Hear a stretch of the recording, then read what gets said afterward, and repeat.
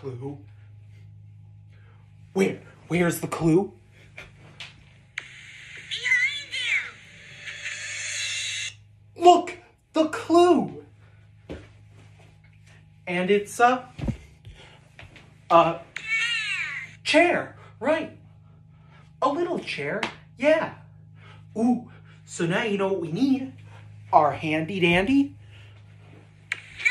Nope. Oh.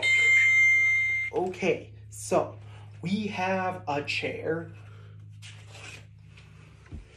Start with two circles, lines for the back, kind of a rectangle for the seat, and legs.